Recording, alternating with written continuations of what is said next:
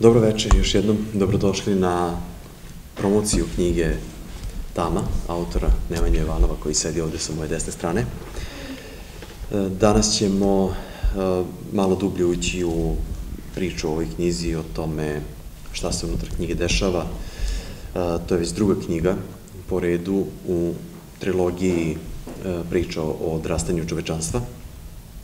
I treća knjiga je već u pripremi, bit će u nekom trenutku sledeće ili za dve godine u, u prodaji i um, ajde kao jedan od, kako to Nemanja voli da kažem, čitača knjige, uh, mogu da kažem da sam uh, u ovoj knjizi zaista uživao, jer sam, uh, za razliku od prve knjige, mnogo je dinamičnija, mnogo više sadržaja, iako je znatno deblja knjiga, kao što možete i sami da vidite, ako pogledate, ako poredite ove dve knjige. Um, znatno je deblja knjiga, ali nekako sam je znatno brže pročitao, upravo zbog, zbog tog toka ko, koji je jednostavniji.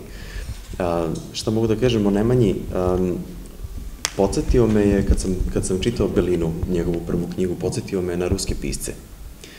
I uh, iako, iako ja, ajde da kažem, um, više, više volim uh, taj neki zapadnjački val, ipak sam nekako uh, njegovu knjigu sa zadovoljstvom čitao. Uh, šta se sad ovde dešava?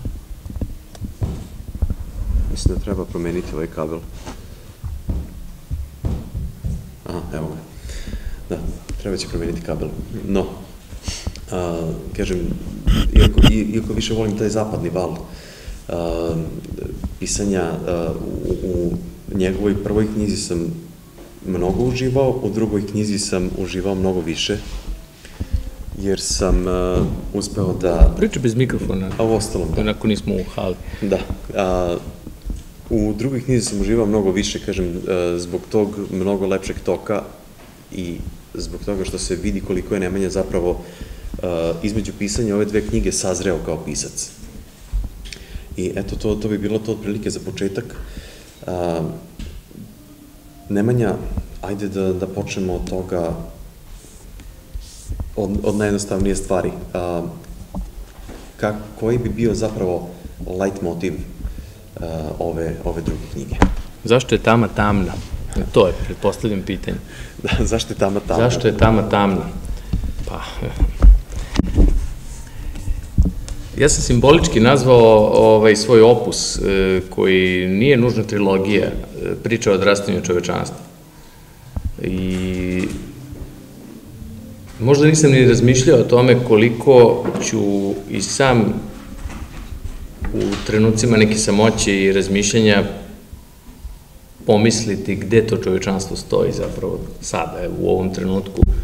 Ja mogu da pričam samo o ovom trenutku, zato što sam prosto savremenik i eventualno mogu da izvučem neki zaključak kao i, i, i svi ljudi koji se amaterski ili profesionalno bave istorijom iz nekih spisa i, i analiza ranih statusa čovečanstva, možemo da pričamo samo o onome što mi vidimo i što mi doživljavamo. Sad, to je i prednost i man. Ja mislim da čovečanstvo još nije poraslo ni malo. Mislim da je još uvek u toj fazi ranog odrastanja, jer se u suštini mi ponašamo prilično onako nezrelo. E sad, zašto mislim da je tako? Pa mislim za, zato što ovaj, u toj priči postoji to belo i postoji to tamno, postoji to dobro i postoji to loše. E, nije ono nužno i, i, i e, precizno odeljeno prvom i drugom knjigom koje nose simbolički naslove Belina i Tam, već e, i u jednoj i u drugoj proveva i jedno i drugo. A na čitačima i na publici je da procene šta je tu svetlo, a šta je tu tamno. Između ostalog, ja mislim da je tamno to što u, u 21. veku e, ljudi ne čitaju, što ne dolaze na ovakve promocije, što se živi jednim stihijskim životom ispunjenim nekim zadovoljstvima koja možda i nisu zadovoljstva. A svakako, svakako, svakako kada se iz e, neke malo, malo više perspektive pogleda, e, možda nisu ni zadovoljstva, nego su više šteta.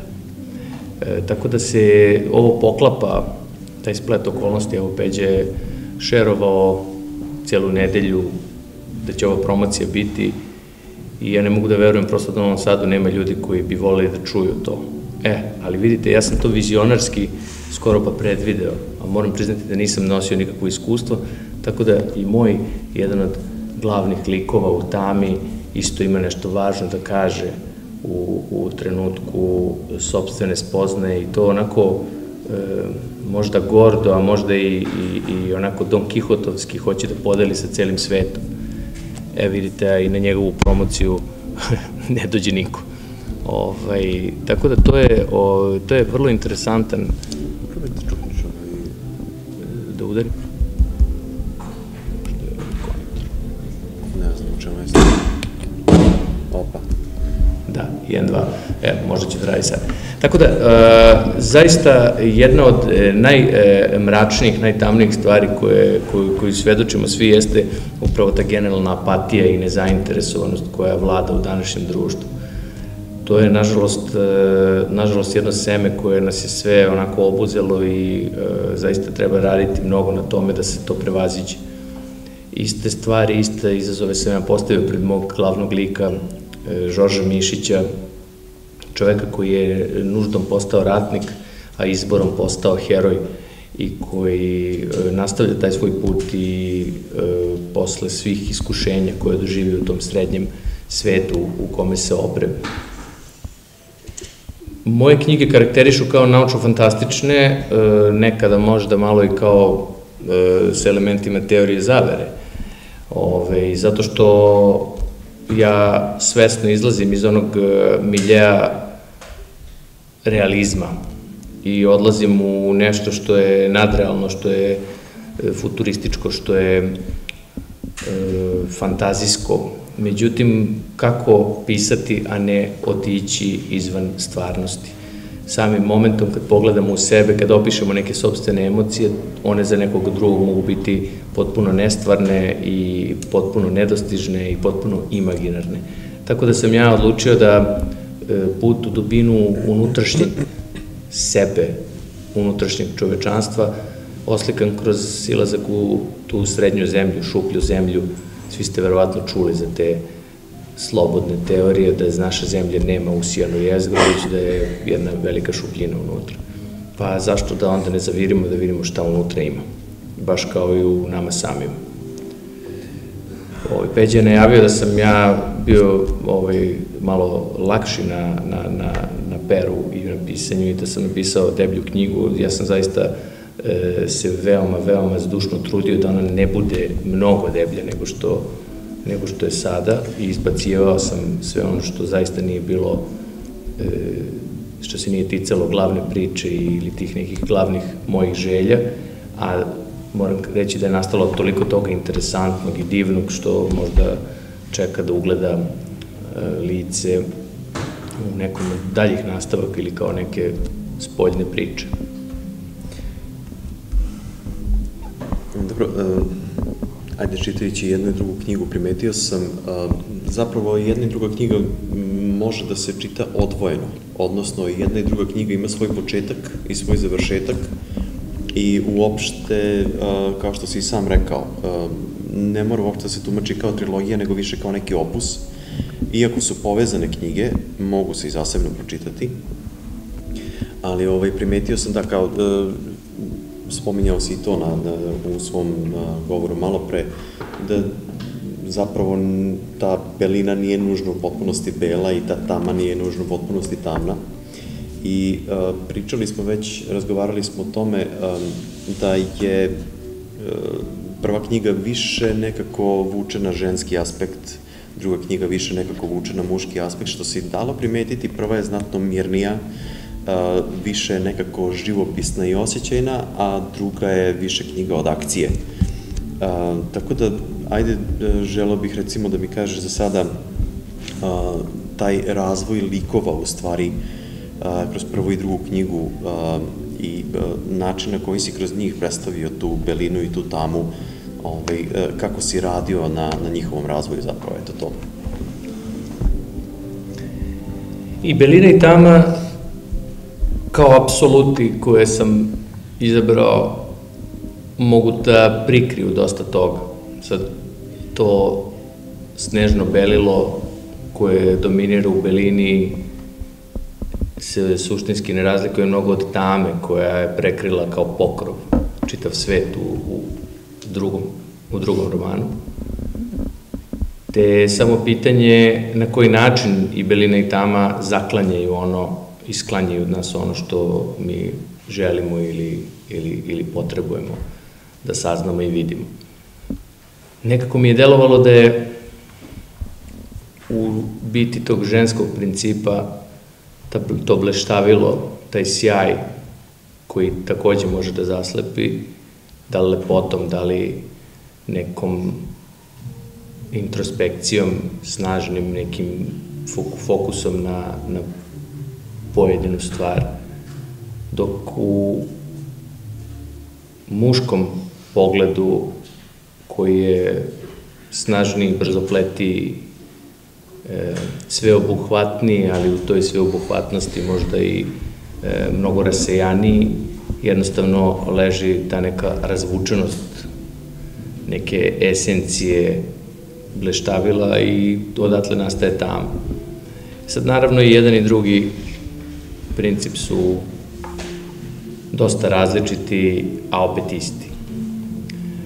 U prvom romanu je to bliže nekoj, lepo si uporedio, direktan je uzor nekom recimo slovenskom pisanju, možda ruskoj da. školi, da. E, više razmišljanju glavnog junaka, glavnog lika i sa druge strane u tami je to sve zamračeno jednom globalnom slikom, jednim e, sveobuhvatnim mrakom koji se mi borimo da ne priznamo da je tu. Što bi moglo biti, recimo, neki muški princip. Tu ima mnogo više akcije, ima mnogo više otvoreno, otvorene borbe, smrti i onih e, malo drugačijih aspekata e, samog, same naracije, onog teranja radnje, što se kaže u, u nekoj dramaturgiji, kroz samu i suvu akciju, a ne kroz misao i kroz neki filigranski e, moment e, unutrašnjeg stanja lika. Tako da ja volim da kažem, a to verovatno i jeste jasno svima koji su pročitali jednu i drugu knjigu, da su u pitanju dva potpuno, potpuno različite ugla iste stvari. I to je meni sevnulo u, u ideji kao koncept e, naracije, pre svega da bih se oprobao pisanju iz dva različita ugla, drugo da bih se i zaštitio malo, jer mi je bilo uvek zanimljivo da zauzmem neke pozicije koje su slične, malo rošomonski onako, slične i, i gledaju isti događaj, čiju istinu interpretiraju samo na dva različite načina. Zato će biti interesantno e, pisati, već jeste meni interesantno, ali mi malo predstavlja i, i onako da kažem jedan dodatni izazov pisati iz prizme tog e, trećeg bića, tog bića od koga je postalo čovečanstvo praktično od neke vrste Boga. Da, ajde. Mm, čaša.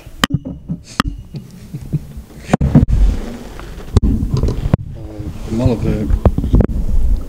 Bliže glasno. Radi, ne radi, radi. Radi, radi, samo malo bliže. Bliže, -hmm. još, ne, dobro.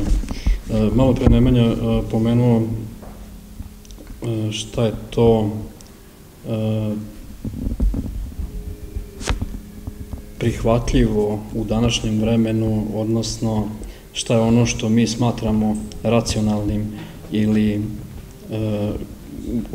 gde se u svemu tome nalaze teorije zavere. E, ova priča Nemanjina i o teorijama zavere je značajna zato što e, u današnje vreme teorije zavere ne služe toliko da nešto novo otkriju, koliko da zaintrigiraju čoveka da pokuša da nešto otkrije, odnosno da, da više da, da, da pokrene tu njegovu kreativnost. šta je realnost i koliko je naučna fantastika daleko od realnosti ili bliska realnosti, to je pravo pitanje. E, realnost je e, percepcija koju mi imamo zahvaljujući uticaju naše kulture i civilizacije. Dva značajna filozofa istorije, Toynbee, Englez jedan, i Spengler, jedan Nemac, su govorili o tome da je praktično svaka civilizacija imala svoju percepciju realnosti.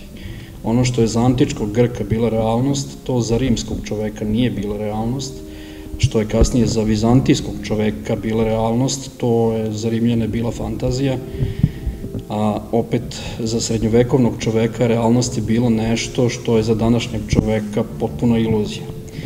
Znači mi nemamo kroz istoriju uvek istu predstavu o realnosti, tako da je pitanje koliko je naučna fantastika, e, fantastika ili koliko je to možda neka buduća realnost ili neka prošla realnost koju mi u ovom momentu e, ili ne vidimo dobro ili ne sagledavamo.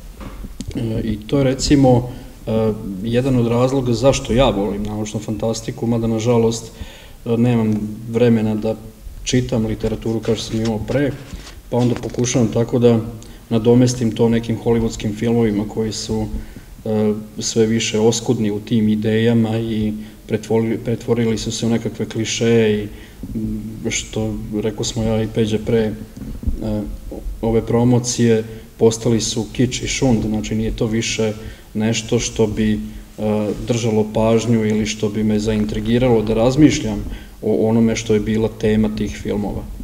Tako da je danas e, mnogo bolje, e, mnogo pametnije čitati literaturu naučne fantastike nego gledati te filmove koji vrte jedne te iste klišeje. Mi ne možemo iz tih filmova saznati više ništa novo, dobiti nikakvu novu inspiraciju, niti to može da nas nekako inspiriše za neku kreativnost ili da mi sami doživimo taj svet koji nam se prezentuje kroz te filmove, dok je literatura ipak tu mnogo bolja jer daje širinu koju trenutno filmovi više ne daju. I ne samo širinu, nego i daje novu kreativnost, ima mnogo više ideja u e, pisanoj naučnoj fantastici nego, nego snimanju. toliko bi samo hteo da kažem. Pa, da prepustim Kriđa. Da, da, evo, preuzit ću reći još malo. Ovaj, u osnovi, e, šta, šta sam primetio, da naučna fantastika je ovde samo žanr kroz koji je Nemanja odlučio da napiše svoju priču, e, odnosno svoju kritiku o čovečanstvu. I e, čini mi se da, a, ok, ne da mi se čini, nego znam da, da je to prosto samo jedan alat kojim se Nemanja koristio. Da, to je žanr da, koji daje veliku mogućnost. Tako je, tako je. Da se čovjek prosto, izrazi, da. Tako je. E, Nemanja je koketirao i sa paranormalnim, i sa naučno-fantastičnim, e, i sa okultnim, um, bilo je, bilo je da, e, mešavina, da, kažem, magije, religije i, I nauke. I za epsko-fantastičnim jako malo. Da, vrlo malo i za epsko-fantastičnim, do duše da, istina. Mali nagoveštaj, u ovoj knjizi se pominju zmajevi. Ovo, ovaj, ali, da. Dovoljno. Da, ali, ali sasvim, sasvim dovoljno.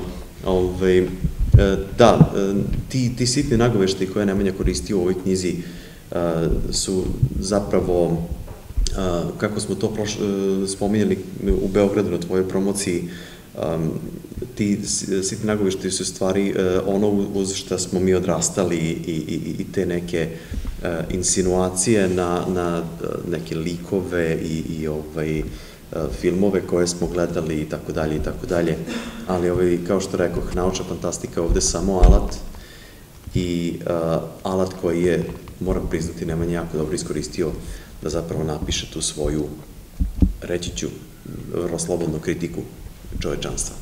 I ovaj, uh,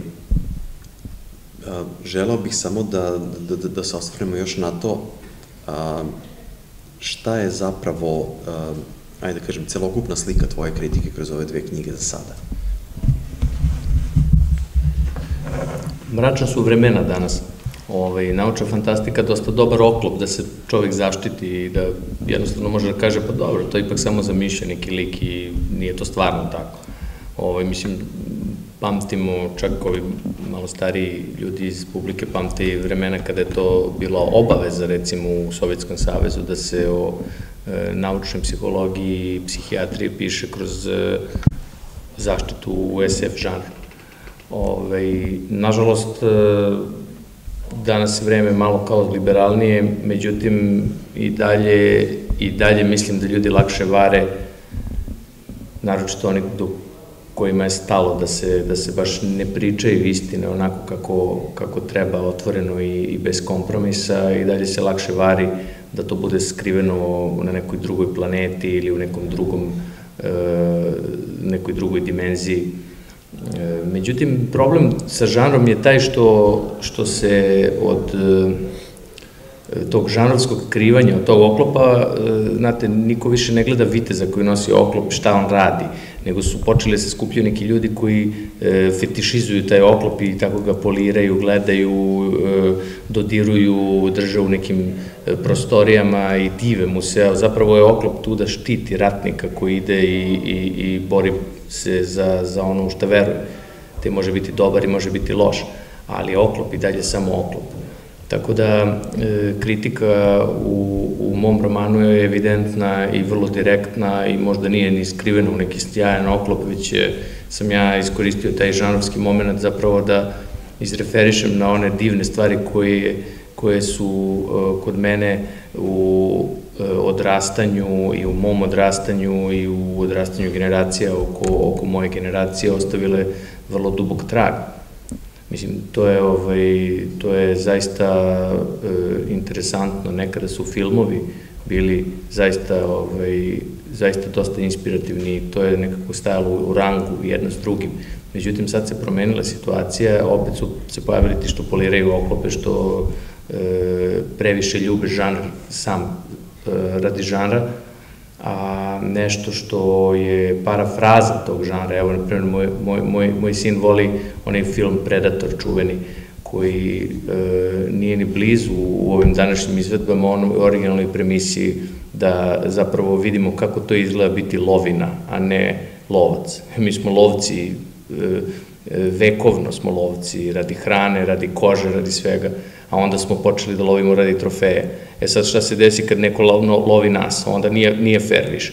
Tako da ovaj, ta premisa, ma koliko banalna bila, je fantastično od tih 80-ih briljirala u tom, u tom ostvarenju i ja sam i na to povukao nekoliko referenci u knjizi gde ljudi uh, love ono što se zove istorijski i fantazijski zmajem. To je u stvari živo biće. To je živo biće koje postoji.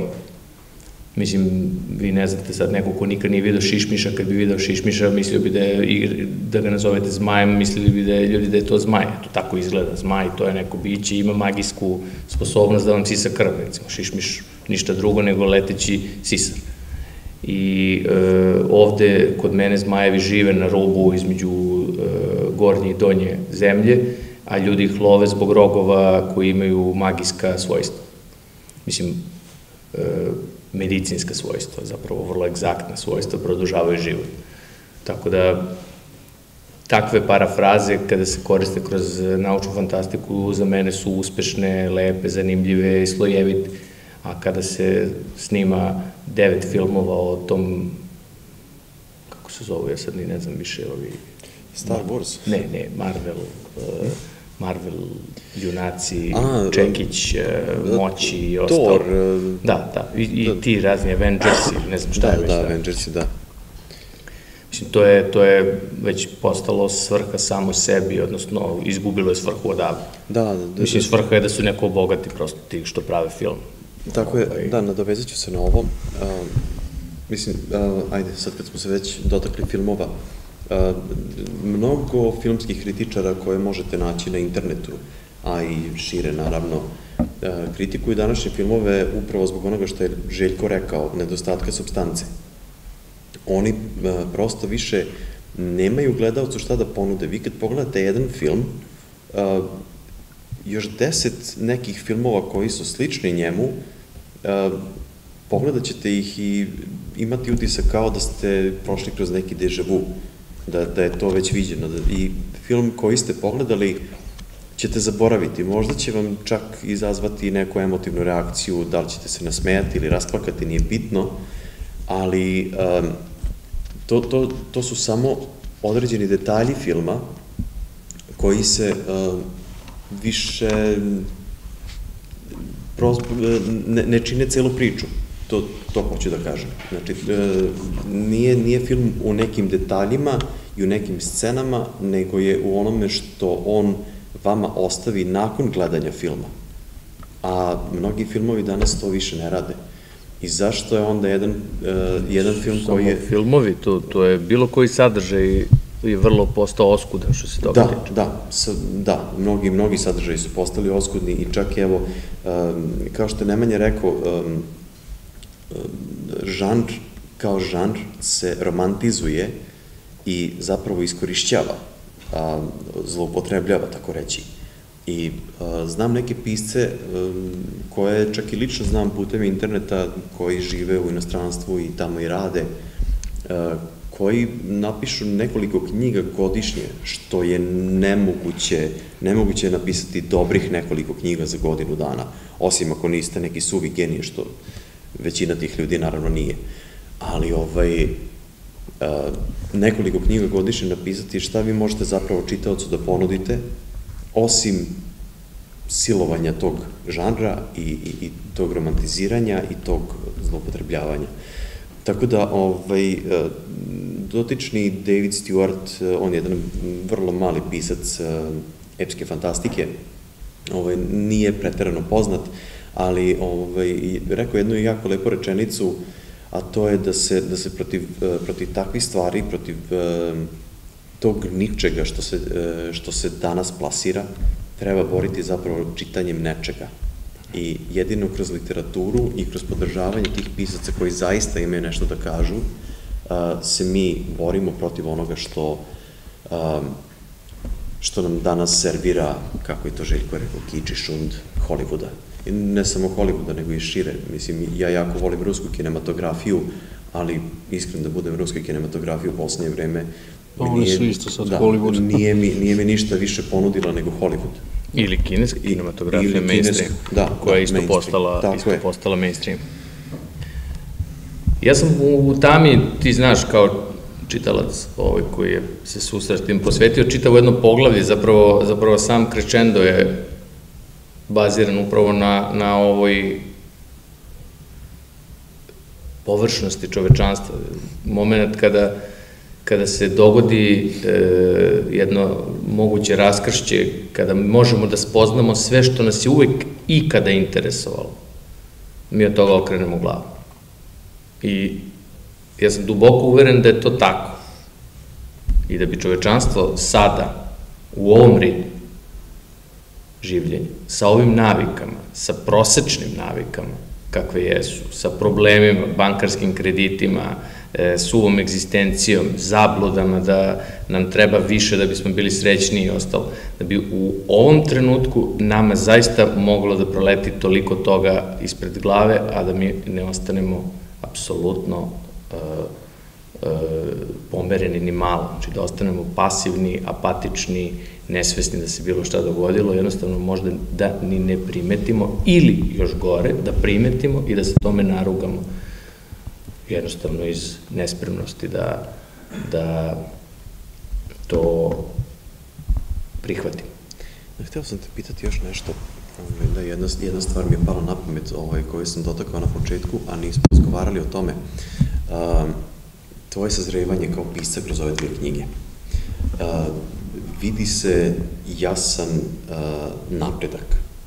Uh, stilski, uh, ovaj, što se tiče substancije same priče, ovaj, želim da te pitam kako se ti sad posle izdate dve knjige, koje, koje su jedna za drugom, jel da, um, kako se ti osjećaš kao ajde tako reći, odrastao pisac. E, pretpostavljam da, da još uvek imaš taj, taj uh, utisak da, da, da ima mesta za napredak, kao što naravno ima kod svih, ali ovaj, uh, želim čisto te pitam o, o tvom ličnom osjećaju kroz to sazrevanje.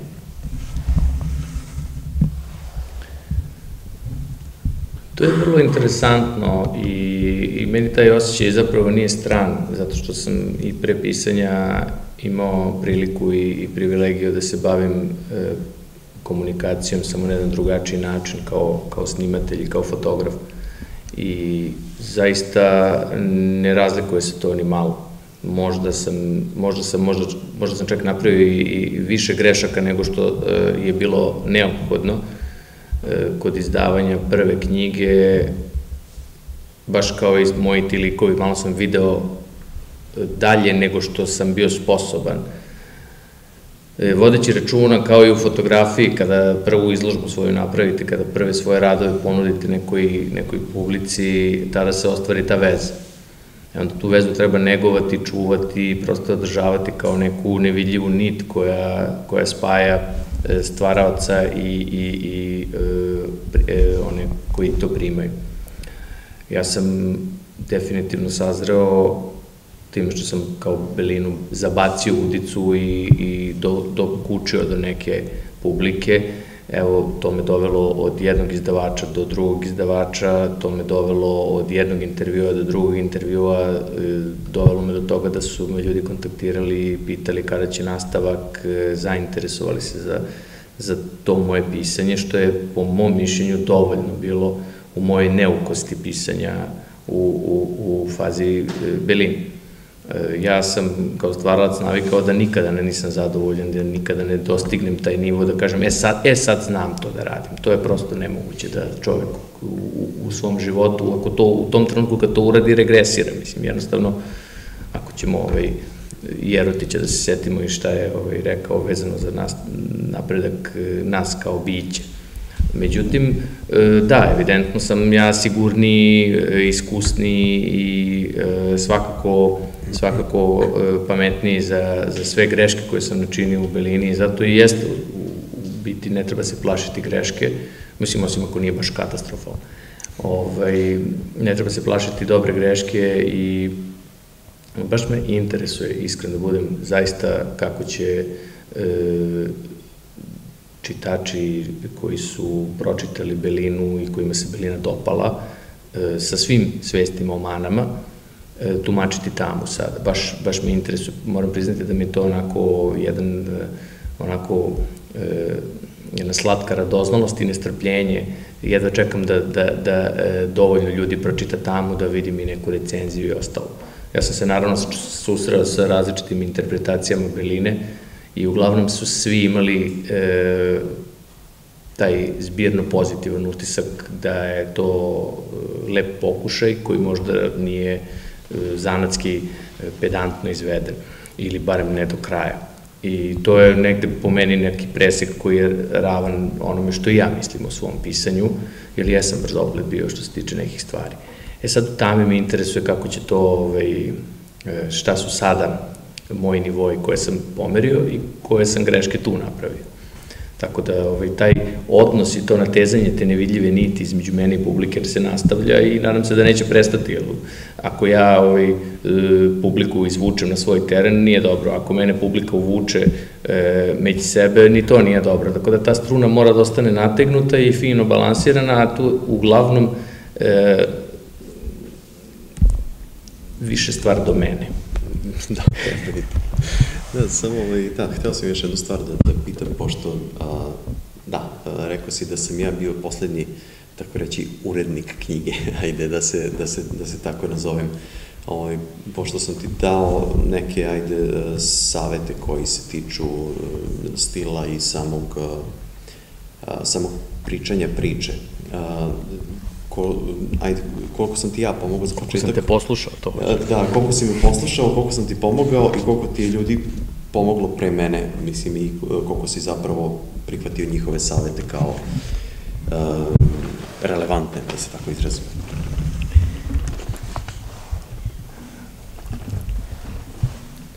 Pisanje je dugotrajni spor proces i mislim da je jedan od glavnih problema u današnje vreme jeste taj što smo mi svi navikli da to se sve dešava mnogo brže nego što samo pisanje hoće. Istina. I e, imati čitače je dragocena stvar i to posebno imati e, veoma različitu ekipu čitača, zato što će svako primetiti nešto drugo. Pisac kada stvara, barem ja kada stvaram, prosto neke stvari previđam i jednostavno nešto ću da ostavim kao rešeno, a tu zapravo ima mnogo rupa. E sad, moguće da bi za pet godina imao potpuno drugačije e, stavove po pitanju svog dela i da bih to sve video, iščistio, isfiltrirao i ostalo. Međutim, ako tako gledamo, jedna knjiga bi se deset godina pisala, što možda i jeste pravi neki ritam da ovaj, pogledate ova velika dela čuvena dela koja su nastajala u vreme kada se sporije živelo, zaista su nastajala vrlo sporo i doživljavala su nizove e, i nekih e, autorecenzija pre objavljivanja i, i, i e, različitih prijateljskih intervencija, jer to je bilo vrlo zgodno od uvek da prijatelji kojima verujete ili oni baš kojima ne verujete pročitaju pa kažu nešto, da li zlurado, da li, da iskreno. Tako da sve čitače koje sam konsultovao, bilo ih je recimo 12 pre, pre ove objavljivanja knjige i e, to, planirao sam 10, ali se onda pojavilo još dvoje među kojima si bio i ti. E, pre svega, mislim, tražite od nekog vreme da sedne i da čita nešto što nije gotovo, je velika privilegija u današnjem e, svetu i, i ritmu života. E, ajde, pročitaj mojih 700 strana koje sam baš napisao, super interesantno, sad ćeš da vidiš a ovaj, zapravo, mislim, nečije vreme uzimate onako zdravo za gotovo. Ali e, svim čitačima hvala i zaista sam e, u, svak, u svakom tom e, komentarisanju, bilo da je bilo pisano, bilo da je bilo usmeno, sam snimao na diktafon, sam nešto profiltrirao ili nešto svoje, neke zablode malo ovaj, potvrdio ili došao jednostavno do potvrde da su neke stvari koje sam uradio zaista, zaista dobre, bez obzira na, na ovaj moment da je neko drugi rekao za to da nije dobro. Tako da, jedan onako veoma, veoma interesantan proces, možda to u stvari naj, najinteresantniji proces u pisanju. Ovo stvoriti misao, izbaciti iz sebe, to je u principu lako. Ko ima maštu, on će sesti i e, stvoriti šta god. E sad, a koliko to ima smisla, to je ono naredno pitanje koje vodi do toga da li ima smisla da se to nađe među korica. Nažalost, danas je situacija takva da danas može sve da se objavi i ovaj, svako može da objavi, što je u suštini dobro, ali je s druge strane i loše, jer nema svako moral da e, se e, barem osvrne prijateljima za pomoć. Mislim da je bilo koja knjiga koja je objavljena, da je pročitalo bar pet ljudi iz bližog okruženja tog pisca, mislim da bi bilo bolje. Svakako je bolje da se ta komunikacija postoji još pre izdavanja. Tako da da, poslušao sam te i to, ovaj, i to po pitanju baš nekih važnih stvari. Da, dobro, da sam da... Ok, uh, Željko, imaš ti još nešto?